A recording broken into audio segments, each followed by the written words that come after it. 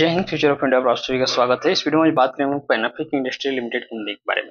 पैनाफिक को डिटेल में समझेंगे, वैसे है तो ये पेनी स्टॉक पेनी स्टॉक में भी पेनी स्टॉक क्योंकि कंपनी का वैल्यूएशन सिर्फ़ 10 करोड़ के आसपास यानी कि बहुत ही छोटी कंपनी है, और छोटी कंपनियों में रिटर्न देने के जो चांसेज होते हैं वो काफ़ी हाई होते हैं। तो इसलिए हम लोग अपने वीडियो में छोटी कंपनी के बारे में ज़्यादा बात करते हैं, क्योंकि ये बहुत कम समय में आपको मल्टीपैगर रिटर्न देने की ताकत रखते हैं। इस कंपनी का वेबसाइट ये है पैनाफिक इंडस्ट्रियल डॉट कॉम आप चाहे तो वेबसाइट पर विज़िट करके भी इसके बारे में जानकारी ले सकते हैं। हालाँकि मैं तो आपको इसके में, इस वीडियो में इसका संपूर्ण डिटेल्स देने ही वाला हूँ। सबसे पहले शुरुआत करेंगे कंपनी के काम से तो देखिए पैनापेक इंडस्ट्रियल लिमिटेड कंपनी का जो काम है ना, ये नाम से स्पष्ट है कि फाइनेंशियल सर्विसेज़ आपको प्रोवाइड करती है बिज़नेस ऑफ़ फाइनेंसिंग अब देखिए फाइनेंस में कौन कौन से काम आए थे जब सबसे पहले आ गया एनबीएफसी का काम, जो लोन वगैरह कंपनी प्रोवाइड करते हैं मेन काम तो ये हो गया। फाइनेंस में है तो कंपनी ज़ाहिर सी बात है इन्वेस्टमेंट में भी अपना करती होगी इन्वेस्टमेंट करके भी कुछ पैसा कमाती होगी इन्वेस्टमेंट एंड ट्रेडिंग करती होगी। हालाँकि इन्वेस्टमेंट एंड ट्रेडिंग करती है, यहाँ पे लिखा नहीं है एनबीएफसी का भी काम यहाँ पे लिखा नहीं है, यहाँ पे बस इतना लिखा है कि ये फाइनेंस के सेक्टर में काम काज करते हुए नज़र आते है। तो फाइनेंस में अब जितने भी काम काज करने के तरीके होते हैं सबको यहाँ पे डिटेल्स में एक्सप्लेन नहीं किया जाता है। वेबसाइट पे आप जाकर यहाँ पे पढ़ सकते हैं। बाकी स्क्रीनर पे आ, या मनी कंट्रोल पे या तमाम जगहों पे सिर्फ़ कंपनी का ओवरऑल एक व्यू दिया जाता है कंपनी के सेक्टर में क्या काम है। तो यहाँ तक हम लोग बात समझते हैं कि काम काफ़ी बड़े हैं, काम के यहाँ पे लॉन्ग टर्म में इस स्टॉक में तेज़ी बनने के चांसेस रहेंगे। अब समझिए, जैसे मैंने बताया मार्केट कैप काफ़ी कम है तो मार्केट कैप बढ़ सकता है। जैसे आप देख सकते हैं यहाँ पे शेयर प्राइस में तेज़ी आ रही है शेयर प्राइस बढ़ रहा है तो शेयर के प्राइस बढ़ने जब बढ़ता है तो मार्केट कैप भी कंपनी का बढ़ता है। स्टॉक का पी काफ़ी महँगा है, पाँच के आसपास है। ये इस बात को दर्शाता है कि इसकी डिमांड काफ़ी है, जिस शेयर का डिमांड काफ़ी ज़्यादा होता है ना उसका पी महँगा होता है। अब इतने महँगा पीए पे हम किसी शेयर को बाई नहीं करते हैं। यहाँ पाँच का मतलब ये हुआ कि आपको एक रुपए कमाने के लिए पाँच सौ पाँच रुपए देने पड़ रहे हैं। तो ज़ाहिर सी बात है कि जिस स्टॉक का पी कम होगा उसको लोग लेना पसंद करेंगे क्योंकि एक रुपये कमाने के लिए उनको कम पैसा देना पड़ेगा।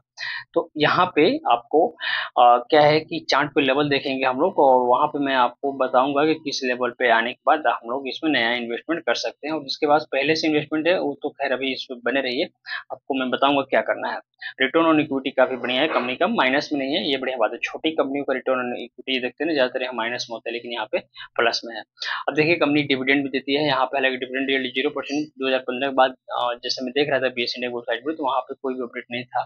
लेकिन समय समय पर इस स्टॉक में डिविडेंड आते रहता है तो यदि आपका इन्वेस्टमेंट है। तो आपको कभी ना कभी इस कंपनी का डिविडेंड ज़रूर मिला होगा, नहीं मिला है तो आगे मिल सकता है। तो एक छोटी सी कंपनी जो आपको डिविडेंड देती है, इस तरह की कंपनी में आपका इन्वेस्टमेंट है तो सोचिए कितनी अच्छी बात है। एक साल के चार्ट पर जब आप एनालिसिस करते हैं स्टॉक को तो पाते हैं कि स्टॉक अभी रेंज बाउंड में फंसा हुआ है। एक रुपये बीस पैसा से लेके एक रुपये चालीस पैसे का जो लेवल है, इसी में स्टॉक का प्राइस आपको अभी ट्रेड करते हुए नज़र आ रहा है।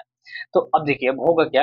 पहले इस लेवल में ट्रेड कर रहा था, ठीक है? इससे ऊपर निकला तो इस लेवल में आ गया और अभी इसका प्राइस इससे एक स्टेप ऊपर उठ के इसमें ट्रेड कर रहा है। यानी कि पहले यहाँ पे, फिर यहाँ पे और फिर यहाँ पे। और जब आप इसको मिलाएँगे तो देखेंगे कि इसका प्राइस अभी भी अप ट्रेड में है। कहने का मतलब अप ट्रेंड में है और अभी कॉन्सल्टेशन रेंज में है। तो जब इस कॉन्सल्टेशन उसका ब्रेकआउट होगा तो फिर किस तरफ़ होगा? ऊपर की तरफ़ होगा और फिर स्टॉक का प्राइस आगे शिफ्ट हो जाएगा। एक रुपये चालीस पैसा से लेके एक रुपये साठ पैसा के बीच में। यानी कि एक स्टेप ऊपर आगे ट्रेड करने लगेगा। और इसी तरह एक एक, स्टेप ऊपर आके इस कंपनी का प्राइस आपको ऊपर जाएगा और कम से कम इसके डबल यानी कि तकरीबन आपको चार पाँच रुपए तक बहुत कम समय में ये स्टॉक मतलब इसी फाइनेंशियल ईयर में आपको जाते हुए दिख सकता है।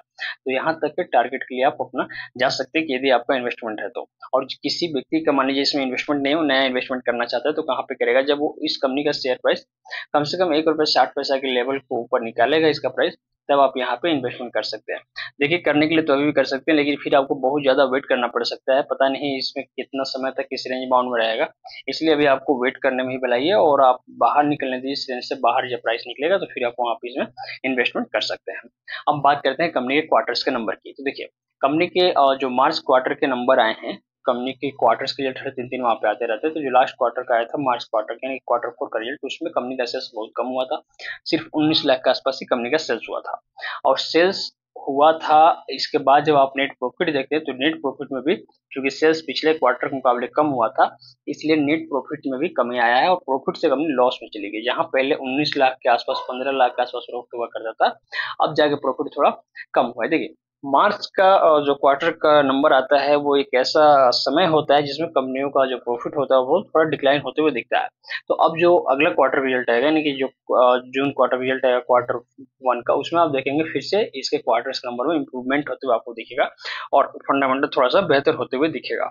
बैलेंस शीट में जब आप देखते हैं तो आप पाएँगे कंपनी के पास जो डेप्ट होता है, जिसको बोरो कहते हैं, वो एकदम ज़ीरो हो गया है। मार्च क्वार्टर रिज़ल्ट में ही, क्योंकि कंपनी को जो भी थोड़ी बहुत अर्निंग हुई थी कंपनी ने उसको अपने डेप्ट चुकाने में लगा दिया, एक लाख के आसपास कंपनी के पास कैसा जिससे कंपनी ने चुका के फ्री कर दिया।